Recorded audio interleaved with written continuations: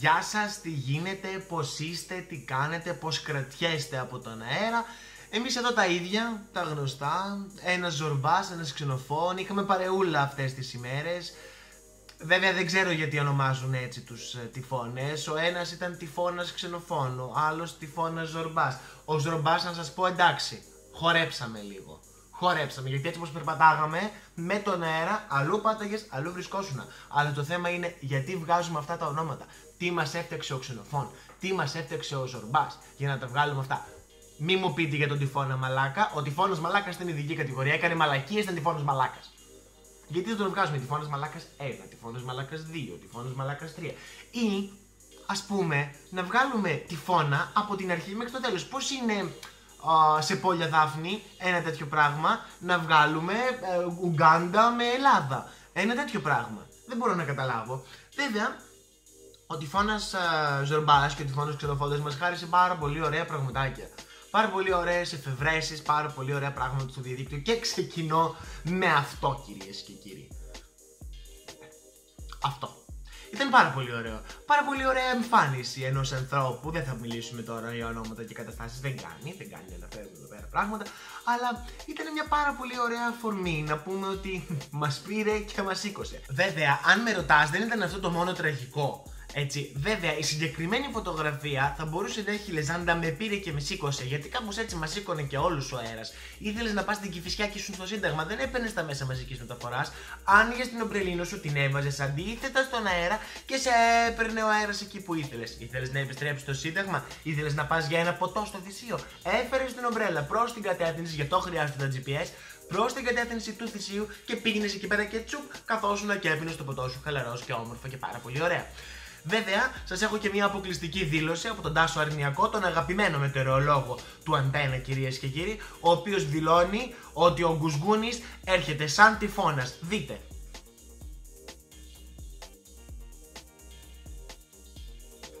Είναι αποκλειστικό. Ο τυφώνας έρχεται. Και θέλω να σας πω λοιπόν ότι δεν θα ησυχάσουμε έτσι; Όχι πήραμε κι εμείς κάποια μέτρα προστασίας. Σαν τον κύριο εδώ πέρα που βλέπετε, όπου τα μέτρα προστασίας ήταν δραστικά, δεν ήθελε να χάσει το αμάξι του, δεν ήθελε να βγει το επόμενο πρωί να πάει στη δουλειά του και να μην ξέρει πού είναι το αμάξι, να ψάχνει για τη μόνη, να βγαίνει στο Γιώργο αυτιά το πρωί και να λένε τα αμάξια μας φύγανε, που είναι ο Δήμος, που είναι η πολιτεία. Όχι, το έδεσε και περιμένει ότι το επόμενο πρωί θα ήταν εκεί. Κανείς δεν ξέρει την τύχη του συγκεκριμένου ανθρώπου, διότι δεν ξανανέβασε ένα παρόμοιο tweet στο λογαριασμό του στο Twitter. Ελπίζουμε να μπόρεσε να πάει στη δουλειά του. Αλλιώς θα παίρναγε μια, μια βάρκα να τον πάρει. Πιστεύετε ότι υπήρξε πραγματικά ο τυφώνας ξενοφώντας και ο τυφώνας ζορμπάς; Γατάκια. Είστε πολύ γελασμένοι κυρίες και κύριοι. Θέλω να σας πω ότι μία είναι η αλήθεια και ο Κωστής Αϊβαλιώτη την λέει και τη λέει και τρεις φορές. Διότι προφανώς δεν ήξερε αν το tweet του δημοσιεύτηκε και αποφάσισε να το ανεβάσει και μία και δύο και τρεις φορές ή ήθελε να το καταλάβουμε. Όλα είναι ένα παιχνίδι στημένο εναντίον των πολιτών και τα λέει ο Κώστας Αϊβαλιώτης στο tweet του το οποίο είναι καταιγιστικό κυρίες και κύριοι, καταιγιστικό. Συγκεκριμένα, ο κύριος Αϊβαλιώτης γράφει: Την ώρα που οι Σκοπιανοί κάνουν το δημοψήφισμα για την Ελληνική Συμφωνία Ξεπουλήματος της Μακεδονίας μας, το βάζει και με κεφαλαία να το τονίσει το θέμα του, μας χτυπά αλίπητα μεσογειακό τυφώνας. Ξανάκουσε ποτέ κανείς τόσα χρόνια για μεσογειακό τυφώνα, γιατί είχαμε ξανακούσει για εσάς, κύριε Αϊβαλιώτη μου, σας έβλεπε άνθρωπος; Κανείς. Γιατί είχαμε ξανακούσει ότι θα είχαμε κυβέρνηση Τσίπρα; Όχι, γιατί να μην το ξανακούσουμε το Μεσογειακό τυφώνα; Ήθελε να έρθει. Ήθελε να έρθει. Τι σας πείραξε, τι σας πήρεξε ο Μεσογειακός τυφώνα, δεν μπορώ να καταλάβω την έκρηξή σας. Ηρέμησα. Ηρέμησα. Αυτές τις μέρες, το συγκεκριμένο α, να το πω αξεσουάρ, να το πω αντίγραφο της εξυπνησίτας, κανείς δεν ξέρει, ήταν αυτό. Είναι μια νέα εφεύρεση αγαπημένη μου, η οποία η οποία εφεύρεση τώρα σε βοηθάει να προφυλαχτείς και πάνω και κάτω και πέρα και δόθε και μπροστά. Βέβαια, αν είχε λίγο παραπάνω έμπνευση αυτός που την έφτιαξε, θα έπρεπε να το έβαζε όλο από πάνω μέχρι κάτω. Να πήγαινε σαν μικρά telephone box που έχουν στο Λονδίνο. Περπατάγαμε, περπατάγαμε κουτάκια στο κέντρο της Αθήνας και δεν ξέραμε τι να κάνουμε. Ένα τέτοιο πράγμα. Είναι πάρα πολύ ωραίο. Μπορείς να μιλάς, μπορείς να κάνεις ό,τι θέλεις, μπορείς να πηγαίνεις όπου όποτε θέλεις. Και εσύ δεν θα βραχείς ποτέ. Θα βρέχεται η ομπρέλα για σένα. Πάρα πολύ ευρηματικό. Μία ακόμα εφεύρεση Εφεύρεση δεν τη λες. Τη λες χρήσιμο, δηλαδή εντάξει δεν υπάρχει, πεθαίνεις. Είναι πάρα πολύ ωραίο. Διότι εμείς τώρα με τον τυφώνα, δεν ξέρω για εσάς εκεί που είστε, δεν ξέρω τι γίνεται, γράψτε το από κάτω. Εμείς εδώ μία βρεχόμαστε, μία δεν βρεχόμαστε. Θέλαμε να πάμε να πάρουμε τσιγάρα, θέλαμε να πάμε να, πάρουμε, να πιούμε ένα καφέ, θέλαμε να πάμε μία βόλτα, βρε αδερφέ. Και δεν γινότανε, δεν ξέραμε τι γίνεται. Δεν ξέραμε τι συμβαίνει εκεί έξω. Θα βρέξει, δεν θα βρέξει. Και βάζαμε στοιχήματα. Τώρα θα βρέξει, όχι θα βρέξει μετά. Κανείς δεν κέρδισε τελικά γιατί έβρεξε την ώρα που δεν περίμενε κανείς. Το θέμα όμως είναι ότι είσαι έξω και βρέχει αργότερα. Τι κάνεις, παίρνεις αυτό. Γιατί αυτό είναι πάρα πολύ ωραίο που έχει δημιουργηθεί. Είναι ομπρέλα και αργότερα την κάνεις και τσάντα. Οπότε είσαι και πάρα πολύ ωραίος. Και θα ευχαριστηθεί και ο Κουδουνάρη από το My Style Rocks που έχει αρχίσει πάλι και συλλέγει τσάντες. Άισι τι τις κάνει τόσες.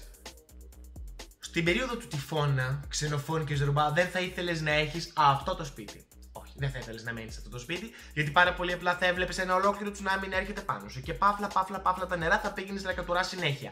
Βέβαια, πάντα ήθελε να ζήσει σε ένα σπίτι με θέα, αλλά όχι με τέτοια θέα. Δεν φοβάσαι μη πέσεις, δεν φοβάσαι μη τσακιστείς, δεν φοβάσαι μη γίνει ένα κλατς. Ένα όπαλα από την υγεία και βρεθεί κάτω στον πάτο και περνάνε οι καρκαρέ και σου λένε Γεια, τι γίνεται, καλά, όλα μια χαρά. όλα τέλεια. Δεν λέει τι πράγματα είναι αυτά, λίγο να σκεφτόμαστε, να είμαστε κάπου ανθρώποι. Σε ένα νέα της ημέρας, η Βασίλισσα Ελισάβετ έχει ψεύτικο χέρι. Ναι. Είναι σαν αυτό που λέμε, πάω εγώ τώρα να φύγω από το σπίτι να πάω για καφέ και θα πρέπει να πάρω πορτοφόλι, τσιγάρα, κλειδιά και το χέρι μου. Ένα τέτοιο πράγμα λέει τώρα η Βασίλισσα Ελισάβετ, γιατί δεν βγήκε να τα πει η ίδια. Oh, δεν τολμάζει να το πεις αυτό. Έχω ένα δεύτερο χέρι για να σας χαιρετάω αυτού, σας βαριέμαι και να σας χαιρετάω. Όχι. Τα είπε η κόρη της η κόρη της. Και είπε, λέει, ότι κάποιοι Αυστραλιανοί, ποιος άλλος θα το έκανε, εντάξει, OK, okay, κάποιοι Αυστραλιανοί αποφάσισαν α, να φτιάξουν ένα ψεύτικο χέρι.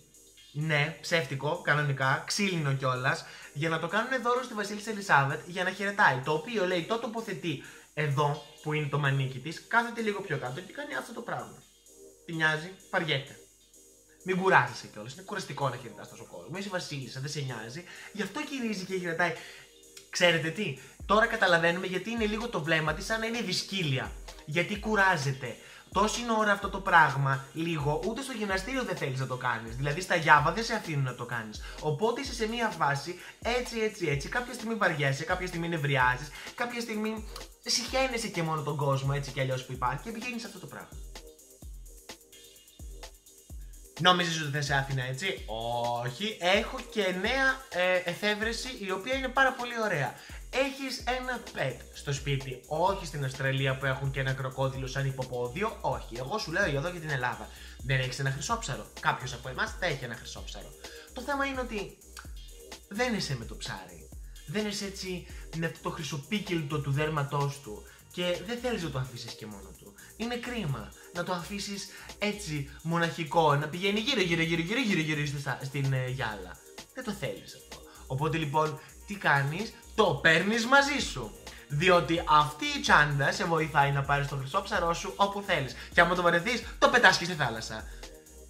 Είσαι τώρα μ, στο γραφείο και σε πιάνει μία μικρή δίψα. Αλλά παράλληλα έχεις και πάρα πολλή δουλειά. Οπότε δεν μπορείς να πας στο μηχάνημα. Όχι, τι κάνεις, πίνεις από τη γραβάτα σου. Διότι μία νέα εφεύρεση η οποία δημιουργήθηκε πρόσφατα σε βοηθά να πίνεις χυμό, νερό, οτιδήποτε θέλεις από τη γραβάτα σου χωρίς να σηκώνεις από το γραφείο σου. Τοποθετείς αυτό το πραγματάκι που βλέπουμε εκεί, το τοποθετείς μέσα στη γραβάτα, βγάζεις αυτό εδώ πέρα και αν διψάσει και τελείωσε.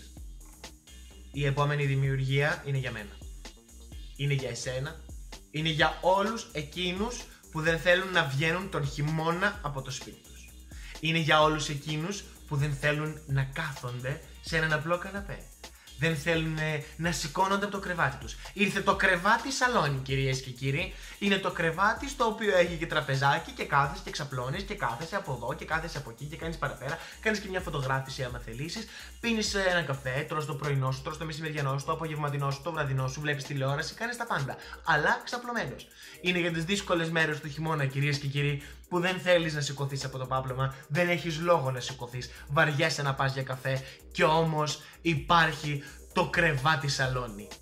Αυτά είχαμε να πούμε και σήμερα, θα τα πούμε την άλλη εβδομάδα, αλλά σας έχω και ένα πάρα πολύ ωραίο giveaway, οπότε κάτω στο description, αφού κάνετε ένα like και share α, στο συγκεκριμένο βίντεο, θα βρείτε ένα link το οποίο θα σας οδηγήσει στο λογαριασμό μου στο Instagram και θα μπορέσετε να λάβετε μέρος σε ένα πάρα πολύ ωραίο giveaway που κάνουμε μαζί με τις εκδόσεις Ψυχογιός. Μπείτε, ε, από τη Δευτέρα έχει ξεκινήσει ο διαγωνισμός και θα τελειώσει στις 10 του Οκτώβρη.